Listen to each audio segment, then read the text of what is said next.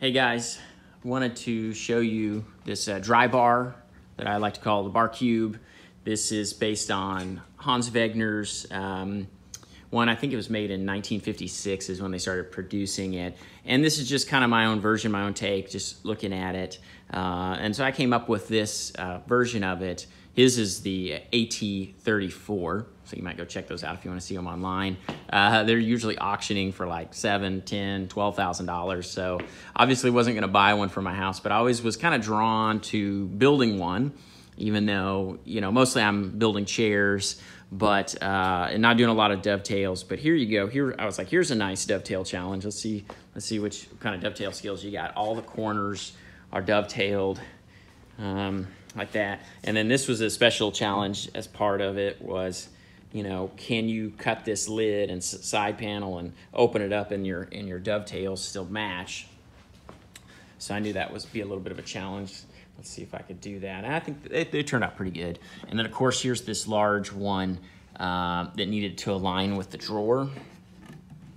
So just kind of planning all that out so that that had that nice continuous line there. Uh, and of course, there's a few dovetails on the inside. Not, not a big deal there. Um, and then of course, you got this side panel you know, uh, cutting these two components out, matching them well, but yet trying to maintain as much of the grain flow as possible. And so that, that was fun. Um, here's the little recess pull on the side, and if you notice, it's got a radius on the bottom, so doing a, getting the right cutter and, and making sure that came out all clean. And then so, you know, this whole exterior is solid wood, except for the bottom and the top panels. So, uh, you know, I'm not one for doing a lot of uh, veneer work, but you know, I decided let's do some shop-sawn veneer and then do some uh, vacuum pressing. So got to try out a nice little inexpensive um, vacuum press that I like quite a bit and that I think uh, most people could easily afford. It was only about 50 bucks.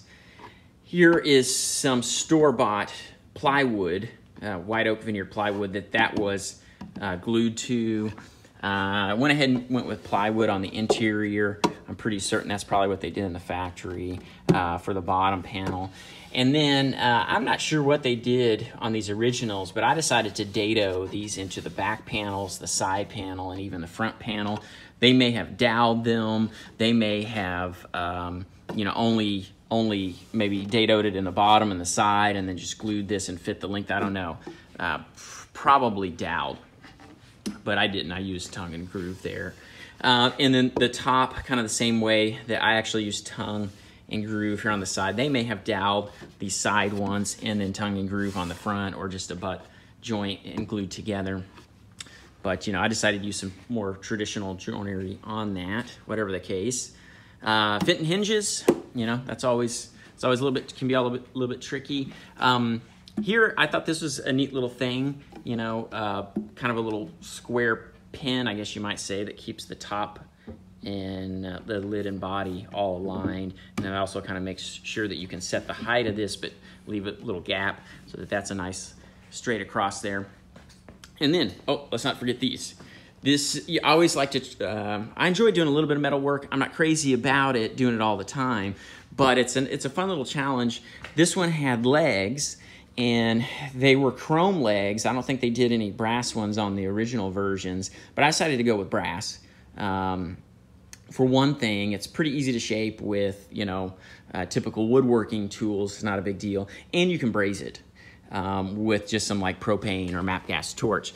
So this is just some Schedules 40 three quarter inch pipe, which actually measures on the outside a little bit over one inch, some, uh, you know, thick brass plate, and then actually a washer there.